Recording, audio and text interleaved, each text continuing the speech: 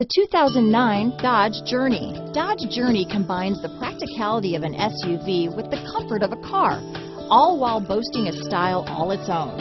The Journey's optional third row seat, along with innovative features like a chilled beverage cooler and in-floor storage bins, make it a good and affordable alternative to a traditional minivan.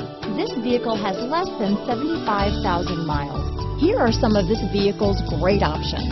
Stability control, anti-lock braking system, traction control, CD changer, adjustable steering wheel, power steering, four-wheel disc brakes, AM FM stereo radio, front wheel drive, rear defrost, power windows, MP3 player, bucket seats, CD player, power door locks, child safety locks, passenger airbag, rear head airbag, auxiliary audio input. This isn't just a vehicle, it's an experience. So stop in for a test drive today.